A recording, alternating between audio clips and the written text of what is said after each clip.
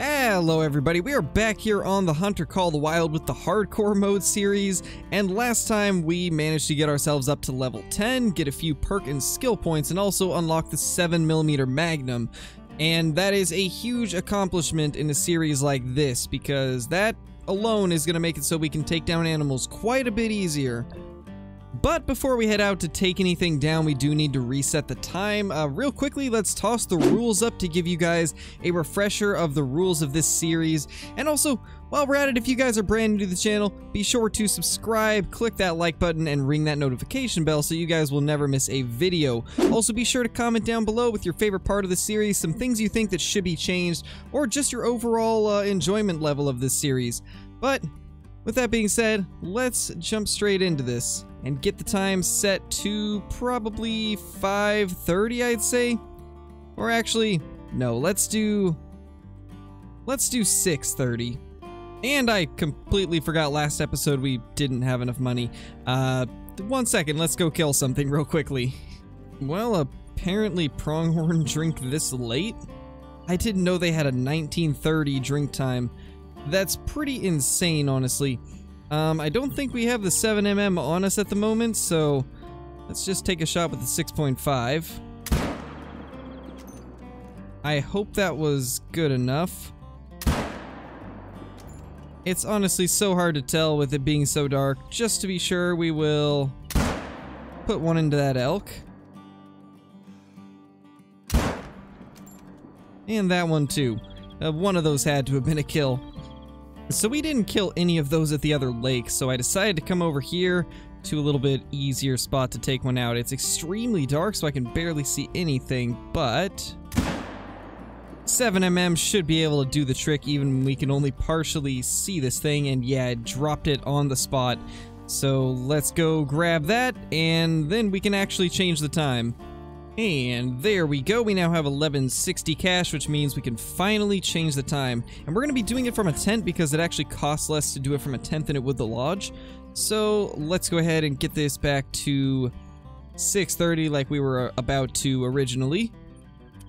There we go. Now we can actually see, finally. And I think our next goal is probably going to be to try and level up a little bit more and get some more cash built up so we can start getting stuff like collars. And I do want to save up money for the range finding binoculars when we unlock those. I think they're pretty far down the road, but we still need to be thinking about saving money up for some of the future purchases. Oh my gosh, hello there. I mean, if it's gonna run in front of us, we might as well take it down. I think it's actually still alive. Okay, maybe not. Sometimes when they're on a hill, they kind of just slide, but this one actually did die immediately, so it's actually really nice to see that the 7mm drops them on the spot with a single lung when using the soft points. That's actually really, really nice, so maybe we're going to be using the 7mm quite a bit more than other guns, at least until we get up to stuff like probably the M1 or the 303. I'm curious how the 303 is going to do. We have finally made it to this next uh, lookout point. So let's go ahead and unlock this and that'll reveal the outpost right below us along with I think a couple others in the area. And we're going to try and get to both of them today. Uh, I want to unlock as much of the map as we can and actually, yeah, this reveals these two. So we can finally get this one and we can also go down and get this one which means we can move that tent right there. I think another thing actually that we could work towards is probably getting some more tripod stands. Those are going to be pretty important for this series too, especially since tripods are a huge component in grinding cash quickly. With the amount of hunting pressure that you create by shooting a lot of animals, it's nice to have those stands so you don't delete your zones. So we're probably going to try and earn some money to buy a few more of them. And I think honestly what we're going to do in this series, I know uh, a lot of you guys wanted me to just do a different map every episode, but I think the smart way to do this when it comes to just getting our character leveled up and all of our gear acquired is probably to stick to one map, get a bunch of good tripod and tent setups going, and then use that to our advantage to make money.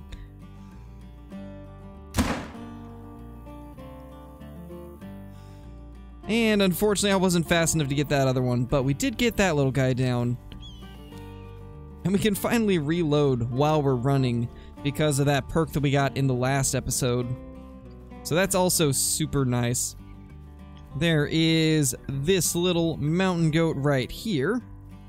And there's a few more of them out here, so we're probably going to try and get a shot on at least one. I don't know how this is going to go, though. This is a very long shot. And we can't use zeroing, so we're just going to have to guess, I guess. And, yeah, that did the trick, so that's another mountain goat down. And this one's actually not spooked either, so... Take that one down as well.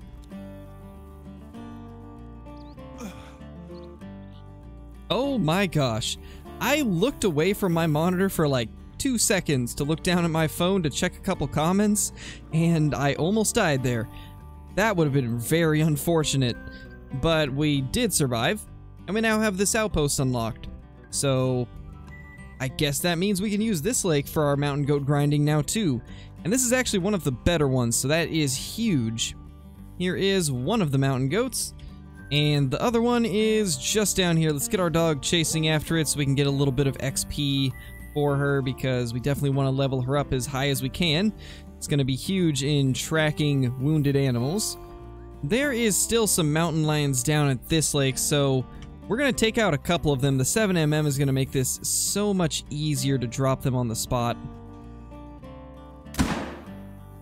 Provided we actually hit that shot. I'm not 100% sure if we did. We were starting to run out of breath. But it looks like we definitely got it, and that is interesting. Should have got that one too, I believe. Uh, maybe? And our, our hello there? Can you not just? That would be great. There. That should bring it down, even if it wasn't vitals. Soft points are not the best for frontal shots, so I'm not 100% sure how well that actually did on the first or the second shot. We do have a couple bighorn out there. We might try to take one down. And yeah, we're definitely going to have to put another shot into this one. There we go. Finally took it out. And we're out of ammo for the 7mm, so I guess it's time to go back and buy some more now that we have a little bit of cash. And that's going to make our lives so much easier having a good stockpile of it. Ooh, ooh, ooh, there we go. That is an albino right there. And then we got a bunch of other ones here too. Uh, we're going to set up a stand after we take down that albino, and I'm going to try and take out as many of these as we can. That is a lot of cash right there. The females aren't worth as much as the males, unfortunately, but it's still like 700 to 1300 cash. I mean, Look at that, 1300 for this one right here. As long as we get full score, they are amazing for it. Actually, second look at that, that could be gray. The sun is shifting a little bit and it's starting to look a little more gray. Um, I mean, we're going to take it out regardless, but it doesn't look as albino as I initially thought. Yeah, I'd say it's definitely more gray than anything else. But just in case, Let's toss a round down range and hope that we get a good shot. I might have to aim a little bit high. I'm not sure. That looks good to me. Oh, it definitely was not good. Guess we will put one more in it. Beautiful. Oh yeah, that is definitely a gray one. Definitely is a gray. And you know, I got to thinking, it's honestly insane how much of a difference a good scope is making for us. We've been able to take things down a lot more efficiently and from farther ranges than we could with the other scope. So it honestly is just huge being able to have a better scope. And we did save it, thankfully. We got right lung on, or left lung on the second shot. That's been our best thing as of now. And that is uh, quite the face. Oh, oh my gosh. Well, not going to tax that or anything, but let's go ahead and put in our perk point, because we did just get one. What do we want to go for? We could go for breath control, or we could go for the first level of steady hands, or we could probably start working on some other stuff too. I do eventually want to get to recoil management. That's going to be a big one, so is fast shouldering and uh, body control. Those are both going to be pretty good. Uh, do we have anything in here? Um, move and shoot is going to be a good one. That's going to be really good, actually. But I think for this one, let's just get steady hands so we'll have a little bit less wobble. Alright, we now have 70 rounds of 7 mil. That is going to last us quite a while, and it's going to make our lives relatively easier, I would imagine, just being able to take down pretty much any animal, provided we can get a good angle, is going to be huge. And the 7mm is going to allow us to do that. Uh, we need to... Okay, we already equipped that, actually. We need to take this stand down here, because this is a really good spot for mountain lions, uh, mountain goat, bighorn sheep, turkey, you name it, it's probably around this lake. So this is going to be a key point of the map and getting a lot of cash. So we definitely want to get a stand down here so we can maintain our zones.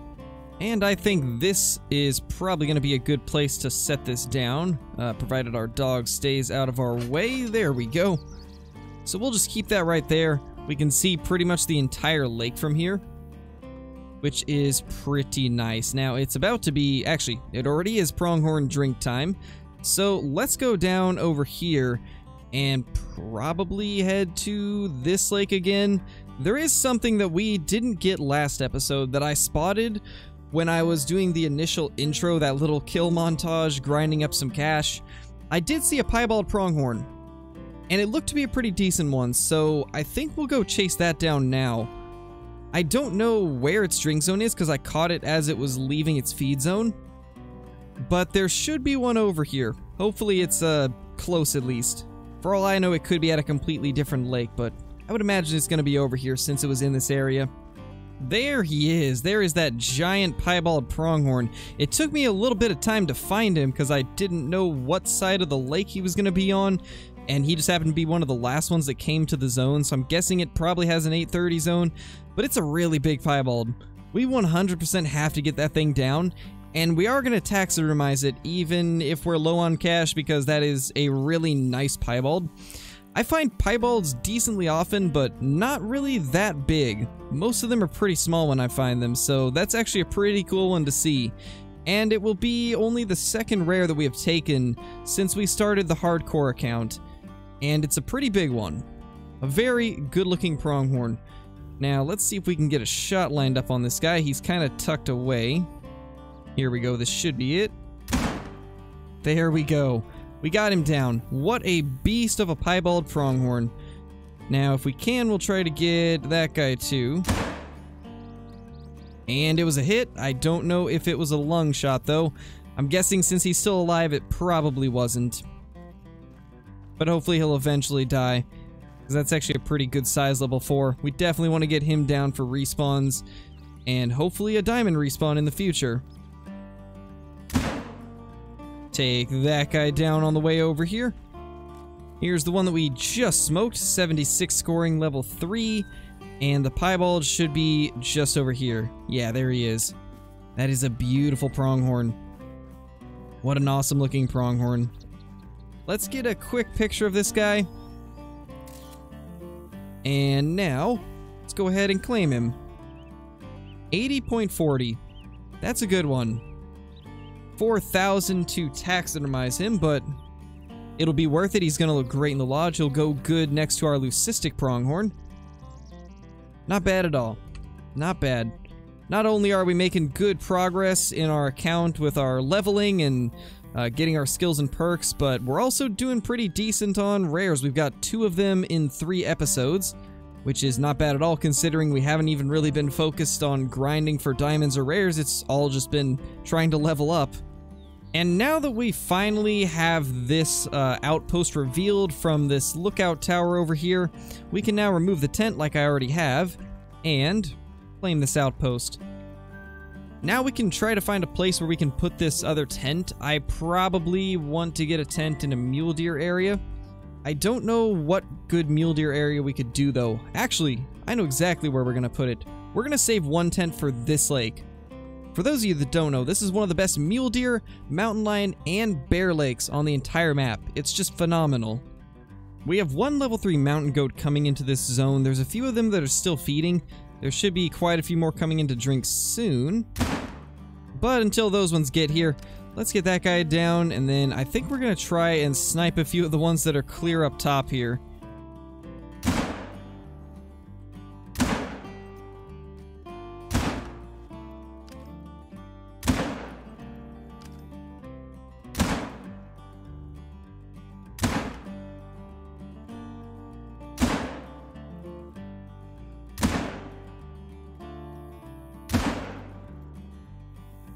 That should be all of the mountain goats. We actually missed a decent bit of shots on some of those farther ones. Uh, they were kind of at weird angles on that, uh, I don't even know, cliff face, I guess that's what it would be considered. And man, it was just not easy to hit some of those shots, and then some of them we had to hit two or three times, but we did get them all down in the end. Uh, we're gonna have to loop around to get that guy up there, and honestly, I might just leave him. I don't think it's worth wasting the time of running over to get him after we've had to claim these already. I probably could have looped the other way and then dropped down, but too late now, so let's just go claim all of these. They should be pretty close together. There's this guy right here. He's actually just about to fall down there, so I had to be careful grabbing it. But I think I figured out the fastest way to be able to claim that guy also. We're just going to loop around the top here, grab him, and then drop down. Should make so we can get all of them in a reasonable amount of time. Ooh, there's actually a mountain goat right there, and about halfway through running across here, I just realized a slight problem. I don't have medkits yet, so I can't do what I wanted to. So instead, we're just gonna take that guy down and then go back where we were. This is just this is just taking way longer than I thought it would, and way longer than it should. So there's a few more, and actually, that's a good goat right there. Wow, that's only a three. That's big for a three. And unfortunately, there's no way we can get steady. And he's kind of in the trees, so we might need to wait for him to turn. There we go. There is one, two, three, four, and I believe five is the last one. So that is a decent amount of cash. We're back up to almost 8,000. There's actually a bunch of them over there too. But we're gonna leave them for now because I don't have a stand over here. Well, uh, this is interesting. Was on my way down to that next lookout, and just happened to come across this little guy, so, yeah. Free bonus cash, I guess. And some more, apparently. That's one down. That is a Tom over there. Let's hope it's not a diamond one. Because we are taking him down. And there's so many of them. Oh my gosh. This is going to be really good cash if we can just uh, take out multiple.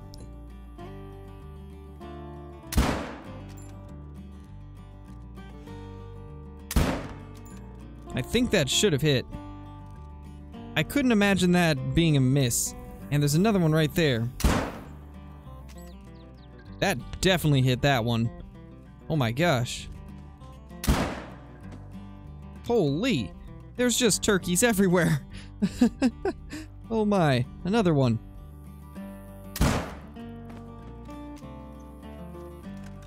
No, no, no, no, no, get back here.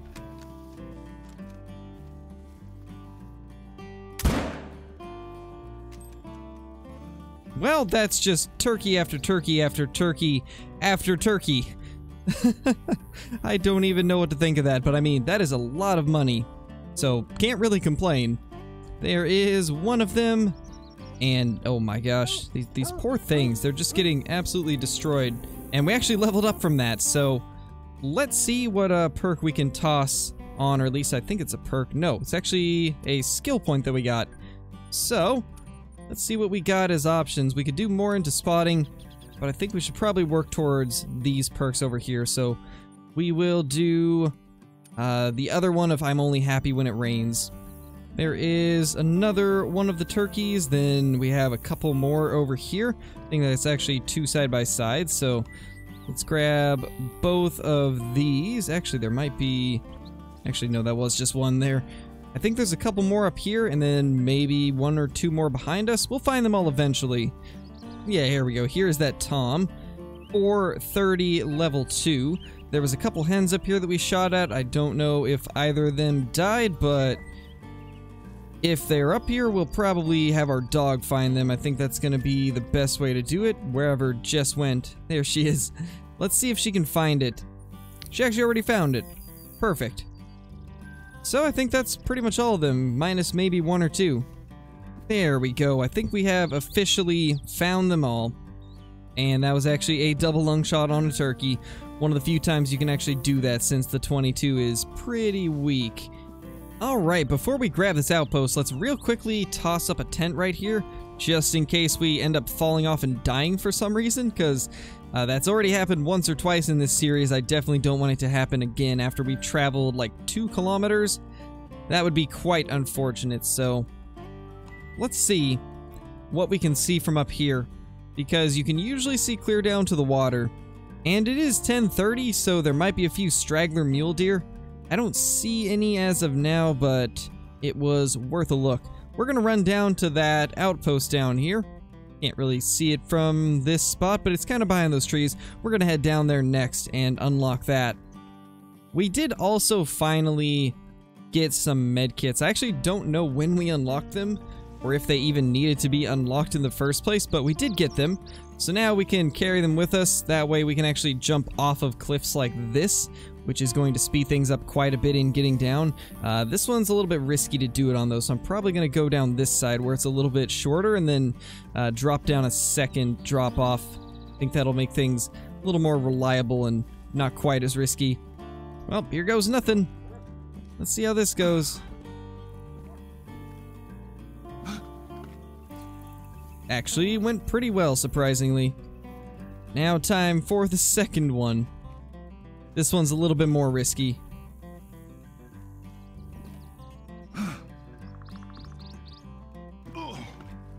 There we go, we survived it. Two steps closer to getting that next outpost. Oh, hello there. That is a bighorn sheep. Don't know if we'll be able to get it or not. Well, thankfully it stopped, so we were able to. We're just about to be at that outpost. But I figured that since there was a couple bighorn through here, we might as well try and take out one or two of them as they run by. I'm actually starting to wonder if we even hit that shot. I thought we did, but... Oh. Well, we definitely did. It just wasn't good. Oh my gosh, hello there. There we go. Got a shot into him again. I think this is the one that we had hit. Yeah, definitely was. So, we managed to get a second chance on him. And there's a bear now, too. There we go. Should do pretty good on that. And yeah, it just buckled right in front of us. Liver and intestines. Wow. That kills them so fast with soft points. I'm actually kind of impressed. Soft points might not be all that bad. Provided you can get into a lung, it seems like it kills them maybe quicker than the polytips do. At least on that bear it did. Here we go. We got to the outpost. Now, I think we're probably going to go ahead and leave the episode here. We leveled up a couple times, uh, got a decent amount of animals down, got our first piebald pronghorn, and overall it's been going pretty good. We're starting to really do well on this account. Let's real quickly take a look at our codex and just kind of show off the stats for a little bit. We have level 12 about to be level 13, like 2k XP away from it. We do have almost 4,000 rifle score, which means we're halfway to being able to use the DLC rifles. We also have 99 total harvests, 16 gold, 37 silver, 33 bronze. Uh, we've scared a lot of animals already, so yeah, that's uh, pretty typical, honestly. Shots fired, 166, 141 hits, 25 misses, 85% accuracy overall. 343 meters on our longest shot. Not bad at all. Here we are in the lodge. We can finally place down this piebald pronghorn right across from its leucistic brother. But we're going to go ahead and end it there now that we have this guy down. I hope you all enjoyed the video. If you're brand new to the channel, be sure to subscribe, click that like button, and ring that notification bell so you guys will never miss a video. Also, be sure to comment down below with some video ideas, some ideas for this series, some things you would change, some things you would add into this, and what you guys think the next map is going to be because there's a lot of rumors of a lot of different possibilities for the next map in Call of the Wild. Uh, Africa, Mexico, Asia. I've honestly heard quite a few others too, but those are the main three that people seem to think. So let me know what you guys think about that. What's the next map going to be? But with all that being said, thank you all for watching, and I will see you all in the next video. Peace!